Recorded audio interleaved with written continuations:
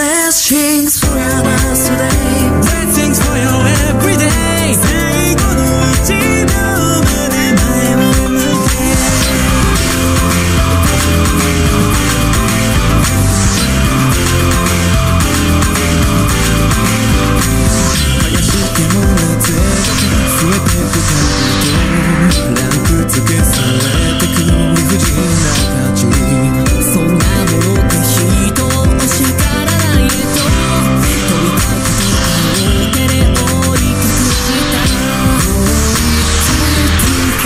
消